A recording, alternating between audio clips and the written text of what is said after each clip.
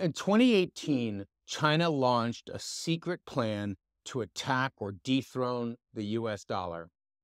Now, in the past 12 months, they've obviously hit a second part of that plan. They've gotten Brazil, Argentina, Venezuela, Russia, Saudi Arabia to ditch the dollar and settle in China's currency. Now, a lot of people in this country, mostly elites, they're saying there is no way the Chinese currency could replace the dollar. But these are the same people who said, let's let China into the WTO 20 years ago. It's not going to kill manufacturing. They'll become democratized. They'll become friends of ours. They'll do all this great stuff. They'll be terrific for us. They're going to be friendly. They're going to get democracy, et cetera, et cetera. These elites who've been pushing China to come in and trade with us, they're like, you know, they're like people who have not had natural, like animals that have not had natural predators around them. They've gotten like fat, dumb, and happy. They forgot what it's like to be desperate and hungry for success, which China clearly hasn't. So I said to myself, the elites have been saying for the last year, two years, three years, four years, there's no way China's currency could replace the dollar. But it's happening right before our very eyes. So a few weeks ago, actually a few years ago, but the last couple weeks I've really been digging down into this topic, doing a lot of research, and I plan to have a nice new research report for you, share with you what I found. Instead of saying there's no way China could replace our currency, what I've been saying is how could they? And what I stumbled upon is the fact that they could replace our currency if they backed their currency with gold. Guess what I found? I have found that China's central bank has been one of the largest buyer of gold in the past 18 months.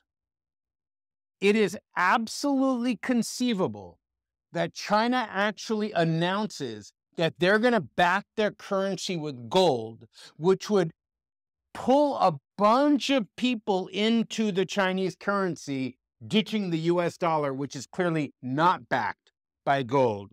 Now, I've been finding that their central bank has really been buying tons and tons of gold, basically like 71 metric tons a month on average for the past few months. So they seem very likely to me to make a move in the coming weeks or months. And I'm putting together a, a report. I've been really kind of digging into this. I've been researching it for weeks. I spent all weekend really just sitting aside reading how this would look.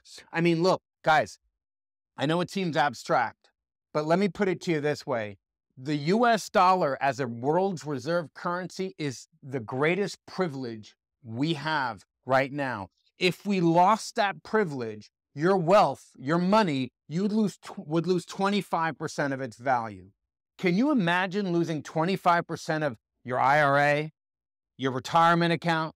Can you imagine if you made 25% of your purchasing power disappeared overnight? It would be like 25% inflation. Whatever you buy today at the grocery store, you'd be able to buy 25% less.